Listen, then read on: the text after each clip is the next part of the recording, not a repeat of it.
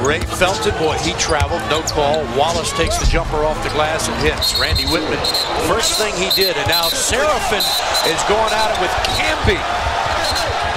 Camby looked like he threw a, didn't, it wasn't a punch, but he threw a hand. It'd be interesting to see how they, uh, how they judge this. Well, Scott Foster was quickly between them and has signaled for both teams to go to their respective benches. And I'm not sure anything has been called yet. And now the officials will get together.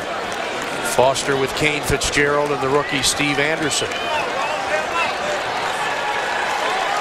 Fans applauding Kevin Seraphin for not backing down. He's a physical player. That's what he feels like is his greatest attribute. He likes to be physical. Yeah, but but uh, also along with that, showing some of the skills.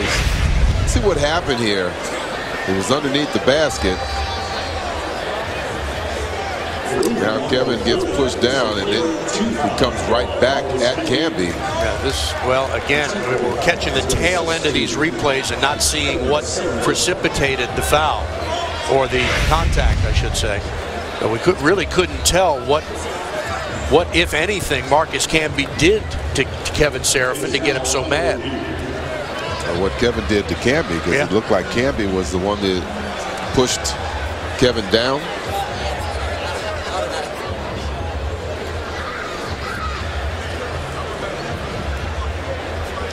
Now they're clearly looking at the replay here on Comcast Sportsnet, in fact. And they've given a flagrant two foul to Marcus Camby.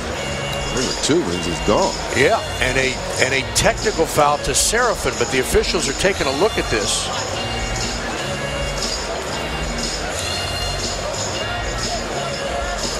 Well, they didn't call anything initially, right? That's correct. So they're going by what they're seeing on that.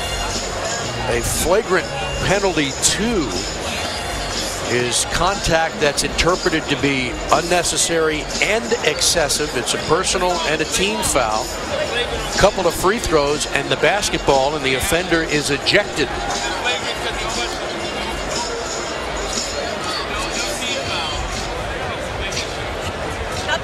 And at least for now, the call on Seraphin is, is just an ordinary technical foul.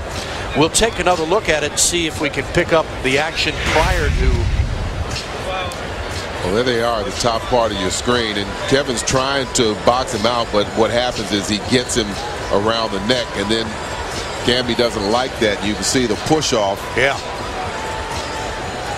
And there was some pretty good contact between the two, but no question that Camby shoved Seraphin out of bounds. Yeah. And that's what got Kevin so irate. And apparently, that's why the officials have awarded a flagrant two, but they're checking it on our, our replay system.